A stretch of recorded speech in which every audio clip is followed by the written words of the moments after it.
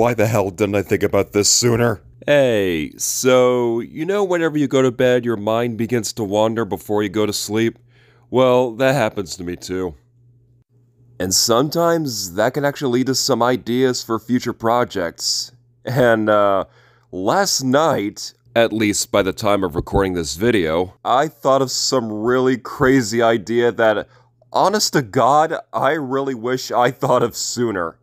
What if, and bear with me here, your favorite YouTubers were imagined as superheroes. Yes, you heard that all correctly. I shit you not, this idea literally came to me last night. As a matter of fact, I just got finished making a few entries, and I am obligated to show you what I came up with at this point because I feel that if I don't, I might die in like three days. And we cannot have that happening, right?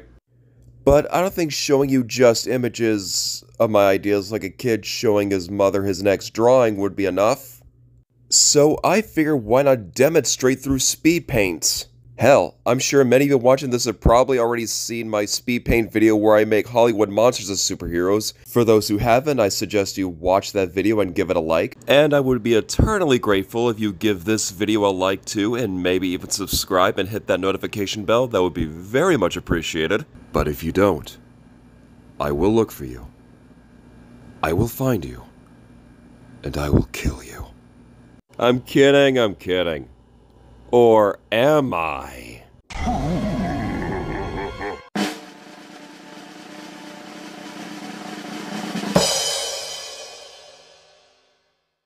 Okay, so starting off, we have someone that you might be familiar with. I mean, let's be real, who doesn't know this guy by now? That's right, Markiplier. Now, for this one, uh, it was kind of a no-brainer for me. Now, in terms of superpowers, I figured why not give him some based on the most, or one of the most iconic things Markiplier is known for, his Warfstache, which is basically a pink mustache. Now, as goofy as this may sound, his powers are based on his mustache. Now, I got this idea from a, uh, a Ben 10 alien from Omniverse called Molestache, who's basically this little mole-like alien who as well has a super-powered mustache. And what a mustache it is. It could be used for a variety of reasons, whether it be attacking enemies or, or grabbing any heavy objects. Again, it's such a goofy-ass ability, but I figured it was one best suited for a Markiplier-based superhero, am I right? Though that's really the only superhuman ability I could think of giving this guy.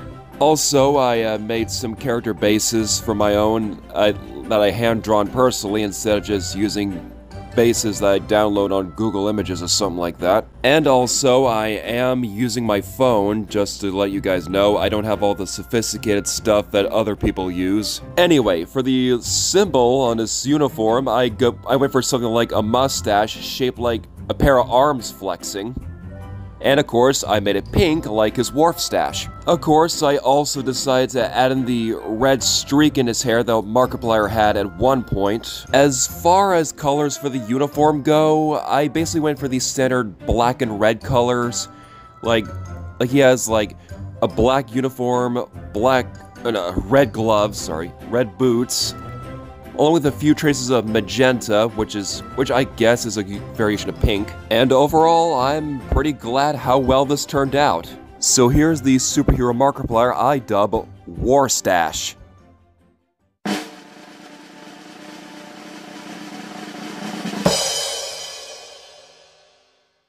Next up is my all-time favorite spooky gal herself, Madame Macabre. Uh, for those who are more into the spooky side of things, I recommend giving her channel a watch. Trust me, she has some of the best videos, and not to mention her music videos are so freaking baller. So, being the spooky gal she is, I figure why not give her some of the spookiest abilities out there. Firstly is her ability to interact with various monsters from the monster world, which is a nod to uh, Madame Macabre's comic series, The Seer, which has long been discontinued, which kinda sucks in my opinion. Now, as far as costumes go, I went for something a little similar to what she wears IRL. In fact, as you, as you can see here, I use a 2D art piece as well as a real photo of Madame Macabre herself for reference material in terms of making the costume. A tailcoat combined with a corset, some black leather boots, you name it, the whole shebang. And the costume itself may not be as original compared to the others on this list, but but it was better than nothing. Now the boots, I made I wanted to make them a little similar to the ones worn by Master Xehanort from Kingdom Hearts, as well as those worn by the members of Organization 13. Now the hair was obviously the hardest thing for me to do. Like, it took me like a few tries to get it just right. It took me like a few tries to get it down just right. Now for the face, I did the usual cross shape before adding in the facial features. I didn't want to make the eyebrows a little bushy, but not too thin either, like to the point where they were non-existent. But I'm happy with how well the face turned out. I even contemplated whether or not I should leave her ear exposed, but I decided not to. Alright, now the next thing was adding the glasses. Since Madame Macabre wears glasses in real life, I decided why not give her some glasses. I also figured why not give her a little bat necklace to really go with the macabre style, along with a leather choker too. Okay, so now with all that done, all I had to do now was just erase some of the unnecessary lining,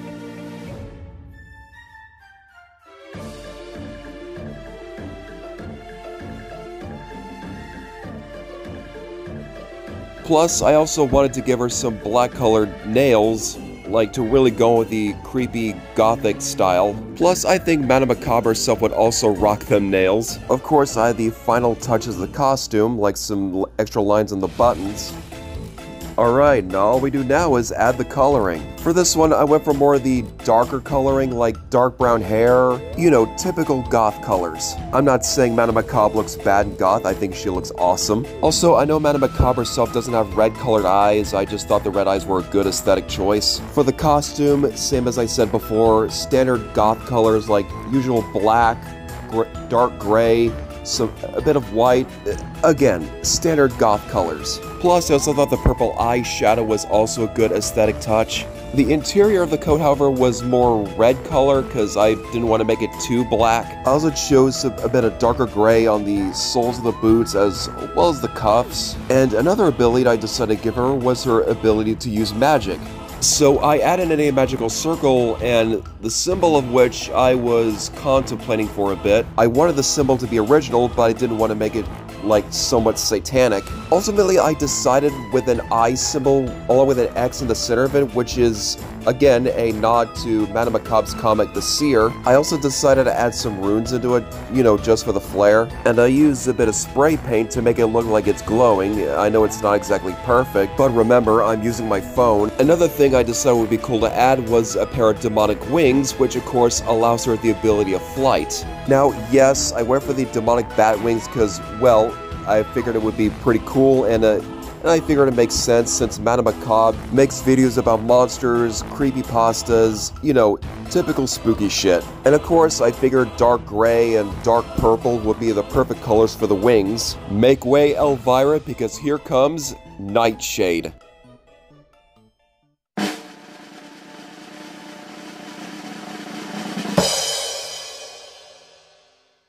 Next up is another familiar face I'm sure many of you may recognize, PewDiePie. Now, much like with the Markiplier superhero, this one was also a bit of a no-brainer. Much like how Markiplier's superhero counterpart was inspired by his Warfstache, I figured why not I base PewDiePie's superhero counterpart with his Bro Fist. Now, for the design of this one, it was pretty basic and simple. Design-wise, I basically went for those, uh, you know those POW bubbles you find in comic books and all that, I also decided to add the fist symbol on the chest for some good measure. Like I said, the designing of the costume was pretty basic. Even his mask has the boom bubble design. Now, I didn't really know what abilities to give him, but I remember that not all superheroes have superpowers. I mean, look at Batman, for example. He doesn't have any powers, but instead he has some really cool gadgets. So I figured why not do the same for the superhero PewDiePie. So for weapons based on his bro fist, I went I figured why not give him some gauntlets. as these gauntlets allow him to punch through even the thickest of barriers like stone walls, reinforced metal barriers, you name it. I also thought that adding the spikes on the knuckles was also a pretty good aesthetic choice, but aside from that, that's really all he's got going for. He doesn't really have any, he doesn't really have much superhuman abilities, as I said before. Now, of course, the coloring for his costume, I pretty much went with the colors on the Brofist symbol on Pew that PewDiePie has. The usual navy blue with cyan, along with the uh, grayish white. As I said before, it's pretty basic, but all in all, I'm glad how well this one turned out. I present you with Knuckle Duster.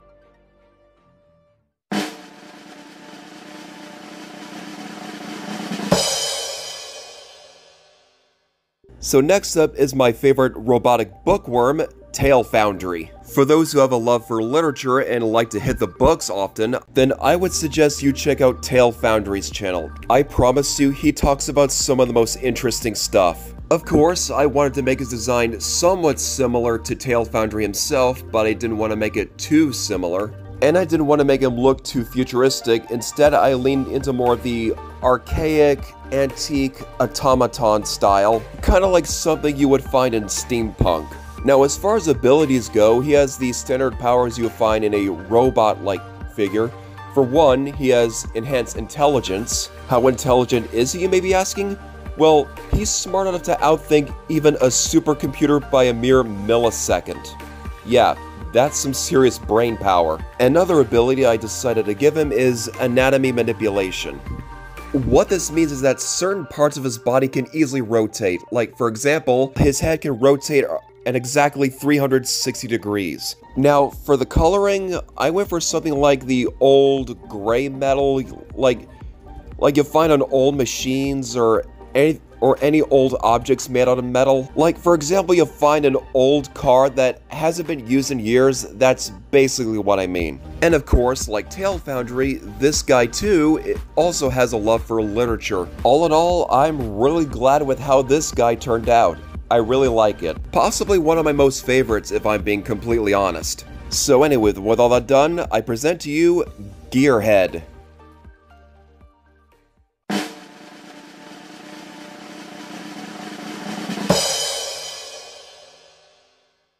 Last but not least, for today we have Gaijin Goombah. For any of you fellow weebs out there, I recommend giving this guy a watch. Trust me, this dude makes videos regarding anything involving Japanese culture. So design-wise, I decided to make this made this one a humanoid mushroom, which is a callback to the Goomba mascot for his channel. Of course, I went for the shinobi attire, the katana, even a Taoist symbol just for some added measure. And of course, I had this little guy made as a legendary warrior that prowls throughout the Japanese islands, just kicking bad guy ass in the traditional shinobi or samurai style.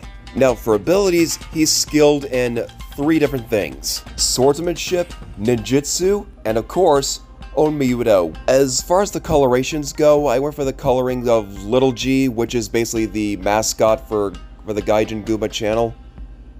I went with the red color, brown, and slight tan color. I also went for some yellow coloring, and for the sword I went with bluish gray color. But all in all, I like the way this one turned out. From the Land of the Rising Sun, here comes the Shiitake Shinobi. So anyway, that's gonna be pretty much it for today. Hope you guys enjoyed, and if you did, hit that like button, subscribe, and of course hit the notification bell so you can stay up to date. As always, I will see you folks next time.